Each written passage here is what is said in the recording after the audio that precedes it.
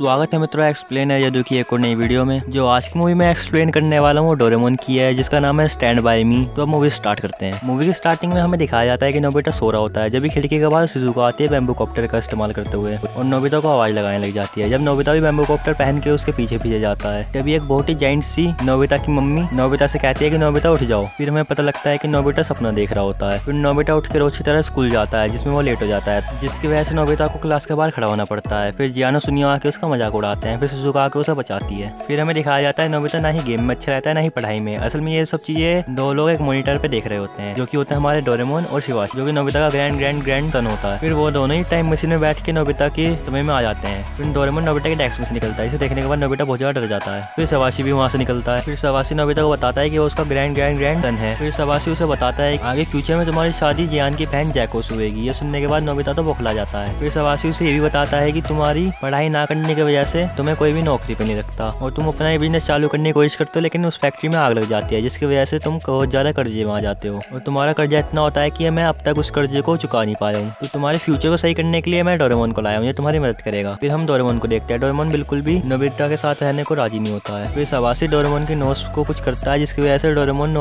सवासी की हर बात मानता है। और ना चाहते हुए भी डोरेमोन को वहाँ पे रुकना पड़ता है। फिर डोरेमोन नोबिता को एक बैम्बू कॉप्टर देता है। फिर नोबिता उसे उड़ाने की कोशिश करता है, लेकिन वो पहले असमर्थ रहता है, उसे उड़ाने में। फिर थोड़ी देर बाद वो थोड़ा एक्सपीरियंस हो जाता है तो वो उसे चलाना सीख जाता है। फिर सुबह हो जाती है। फिर सुबह नोबिटा रोज की तरह लेट हो जाता है। फिर डोरेमोन उसे एनीवेयर डोर देता है। इसकी वजह से वो स्कूल जल्दी पहुँच जाता है और ये देखने के बाद जियानो सुनियो बहुत ज़्यादा अचंबे चकित हो जाते हैं और सिजुका भी उस पर इंप्रेस हो जाती है। फिर डोरेमोन उसकी ऐसी मदद करता है। उसे एक ब्रेड देता है जिसपे जो भी लिखा हुआ होता है, वो नोबिता को याद हो जाएगा उसे खाने के बाद। फिर इसी ब्रेड की मदद से नोबिता का पेपर भी अच्छा जाता है। नोबिता के पेपर में अच्छे नंबर आने के कारण से जियानो से बहुत मारता है। फिर नोबिटा डोरेमोन के पास सोते रोते आता है। उससे कहता है कि जियान ने मुझे मारा। मुझे कुछ ऐसा गैजेट दो ताकि मैं उस जियान से बदला ले सकूँ। फिर डोरेमोन उसे एक इनविजिबल क्लोथ देता है। इसे पहनने के बाद नोबिता इनविजिबल हो जाता है और जियान को खूब मारता है। फिर ऐसे डोरेमोन नोबिता की काफ़ी ज़्यादा मदद करता है। फिर वो जियान, सुनियो, सिजुको और नोबिता को छोटे होने वाले टनल में जाने को देता है। उन सबको छोटा कर देता है। फिर वो सब लोग बहुत मज़े करते हैं और वो सब लोग भी डोरेमोन के दोस्त बन जाते हैं। फिर एक दिन नोबिता देखी और सुजुका को एक साथ देखता है। ये देखने के बाद नोबिता की तो फूक जाती है। फिर घर आने के बाद नोबिता डोरेमोन से कहता है कि मुझे ऐसा गैजेट दो जो कि सिजुका को हमेशा मेरा बेस्ट फ्रेंड बना के रखे। फिर डोरेमोन उसे गैजेट देता है। वो अंडे वाला। जिस जिसने डोरेमोन देखा होगा, उसे पता होगा कि वो अंडे वाला गैजेट क्या कर सकता है? वो अंडा इतना भारी होता है कि नोबिता उसे संभाल नहीं पाता और वो उसके हाथ से गिर जाता है, जो कि जियान पे जाके टूटता है। फिर जब वो अंडा क्रैक होने वाला होता है, तब वहाँ पे सुनी आ जाता है। फिर सुनियो फिर जियान सुनियो का बेस्ट फ्रेंड बन जाता है। फिर कैसे न कैसे करके सिजुका को भी उस अंडे में डाल देता है नोबिता। फिर सुनियो डोरेमोन से मदद मांगने के लिए आता है कि जियान उसका पीछा नहीं छोड़ रहा है। उतने में डेकिसुगी उस अंडे के सामने आ जाता है, जिसकी वजह से सुजुका सबसे पहले डेकिसुगी को देखती है और उसकी बेस्ट फ्रेंड बन जाती है। ये देखने के बाद नोबिता काफ़ी उदास होता है। फिर नोबिता दिन रात पढ़ने लग जाता है, ताकि वो सुजुका का वापस से बेस्ट फ्रेंड बन जाए।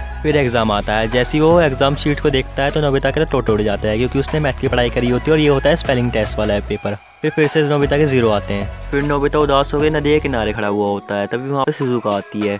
शिजुका को देख के नोबिता को लगता है कि वो उसे लायक नहीं है, फिर वो वहाँ से भग जाता है। उस रास्ते में डेकिसुकी मिलता है।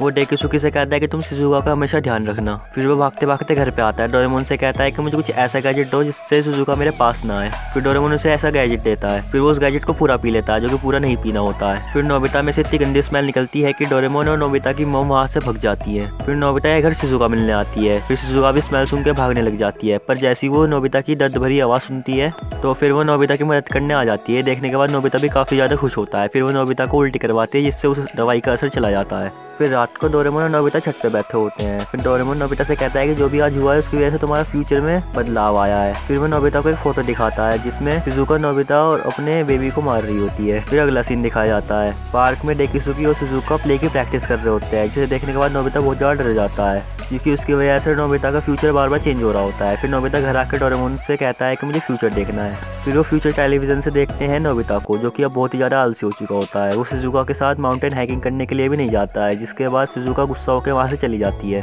फिर सुजुका एकले ही माउंटेन हाइकिंग के लिए चली जाती है, जहाँ पे बहुत ज़्यादा बर्फ़ पड़ रही होती है। ये देखने के बाद नोबिता फ्यूचर में जाने की जिद करता है, फिर फिर डोरेमोन उस पर टाइम पर चिप डाल देता है, जिसकी वजह से नोबिता की उम्र बढ़ जाती है। फिर वो दोनों ही फ्यूचर में जाते हैं। फिर फ्यूचर में जाने के बाद डोरेमोन नोबिता को एनीवेयर डोर देता है सुजुका के पास टेलीपोर्ट करने के लिए। फिर नोबिता डोरेमोन से कहता है कि मैं एकली सिजुका की मदद करना चाहता हूँ। फिर डोरेमोन भी उसकी इस बात पर राज़ी हो जाता है। फिर नोबिता सिजुका के पास जाता है, वो कहता है कि मैं आ गया। फिर नोबिता एक मैप को खोल के अपनी लोकेशन फाइंड कर रहा होता है, लेकिन वो गलती से वर्ल्ड मैप ले आता है। फिर सिजुका उससे कहती है कि मेरे पास जीपीएस है, तुम चिंता मत करो। फिर वो दोनों मिलकर एक केब में जाते हैं, जहाँ पे नोबिता आदिवासियों की तरह लकड़ी जलाने की कोशिश करता है, लेकिन फिर सुजुका कहती है कि मेरे पास लाइटर भी है। फिर वो लोग लकड़ी जलाते हैं। फिर सुजुका को ठंड लगने लग जाती है। फिर नोबिता उसे अपनी जैकेट देता है, लेकिन वो गीली होती है। फिर नोबिता को ही सिजुका अपना एक चद्दर देती है, जिससे नोबिता भी गर्म रह सके। फिर सिजुका की तबीयत खराब होने लग जाती है। फिर नोबिता बहुत ज़्यादा परेशान हो जाता है, लेकिन सुजुका उससे कहती है कि तुम्हें परेशान होने की कोई ज़रूरत नहीं है। फिर सुजुका उससे ये भी कहती है कि जो तुमने मुझसे सवाल पूछा था, उसका जवाब हाँ में है। फिर सुजुका बेहोश हो जाती है। फिर नोबिता सिजुका को अपने कंधे पर लाद के एनीवेयर डोर के पास लेके आता है। पर उसे एनीवेयर डोर कहीं नहीं मिलता। फिर सीन चेंज होता है और हमें दिखता है कि एनीवेयर डोर तो पूरी तरीके से बर्फ़ से दबा हुआ होता है और डोरेमन भी सो रहा होता है। फिर नोबिता अपनी घड़ी ऊपर कहता है कि मुझे आज की डेट और टाइम याद है। फिर वहाँ पे फ्यूचर नोबिता आता है। वो कहता है कि आज का दिन फिर वहाँ पे फ्यूचर नोबिता आता है। वो कहता है कि आज का डेट और टाइम मुझे याद था पर मैं थोड़ा सा भूल गया था। फिर वो सुजुका को हॉस्पिटल लेके जाते हैं। फिर नोबिता फ्यूचर नोबिता से कहता है कि सुजुका मुझे कुछ ऐसा कह रही थी कि फिर ये वाला नोबिता फ्यूचर नोबिता से कहता है कि सुजुका ने कहा है जो तुमने सवाल पूछा था उससे उसका जवाब हाँ में है। ये सुनने के बाद नोबिता काफ़ी ज़्यादा खुश हो जाता है और ये सुनने के बाद फ्यूचर नोबिता बहुत ज़्यादा खुश हो जाता है और वो नोबिता से कहता है कि तुम्हें पता है इसका मतलब क्या है? इसका मतलब ये है कि सुजुका मुझसे शादी करेगी। मैंने उससे शादी के लिए क्वेश्चन पूछा था। फिर नोबिता जल्दी से मैरिज छोड़ पहुँचता है। फिर वहाँ जाकर उसे पता लगता है कि आज नहीं, उसकी शादी तो कल है। फिर वो रात को अपने दोस्तों के साथ बैठ के पार्टी करता है। फिर नोबिता और डोरेमन भी अपने वापस पास में आ जाते हैं। फिर नोबिता सुजुका के पास जाके कहता है कि मैं तुम्हें कभी नहीं छोड़ूँगा और तुम मेरी हमेशा बेस्ट फ्रेंड रहोगी। फिर डोरेमोन एक जगह बैठ के बहुत ज़्यादा रो रहा होता है, क्योंकि अब नोबिता का फ्यूचर सही हो चुका होता है और डोरेमोन को वापस जाना पड़ेगा, क्योंकि उसकी प्रोग्रामिंग इसी तरीके से हुई होती है। फिर ये बात वो नोबिता को बताता है। नोबिता काफ़ी ज़्यादा उदास होता है, लेकिन वो भी क्या कर सकता था? फिर उसके बाद से जियान सुनिया भी उसे काफ़ी ज़्यादा परेशान करने लग जाते हैं। फिर नोबिता उस गैजेट का इस्तेमाल करता है, जो कि डोरेमोन ने उसे दिया होता है। ये कह के कि जब मैं वापस फ्यूचर में चला जाऊँगा, तब इसका इस्तेमाल करना। फिर नोबिता उसे पी लेता है। इसलिए वो लायर लायर लिक्विड होता है। उसे पीने के बाद जो भी तुम बोलोगे, वो झूठ हो जाएगा। फिर उसे पीने के बाद नोबिता, जियानो सुनियो की अच्छे से खबर लेता है। फिर अपने घर आने के बाद अपनी मम से कहता है कि अब डोरेमोन नहीं आने का है। फिर जैसी वो, फिर जैसी वो अपने कमरे पहुँचता है तो डोरेमोन दिखता है। डोरेमोन उससे कहता है कि तुमने ज़रूर लायर लायर लिक्विड पिया होगा, जिसकी वजह से मुझे वापस आने की परमिशन मिल गई। उसके बाद नोबिता बहुत ज़्यादा खुश हो जाता है और ये मूवी भी यही खत्म हो जाती है। अगर आपको मेरी एक्सप्लेनेशन अच्छी लगी हो तो प्लीज़ चैनल को सब्सक्राइब करना और बेल आइकन भी ज़रूर दबाना। ओके तो मिलता हूँ किसी और वीडियो में। Thanks for watching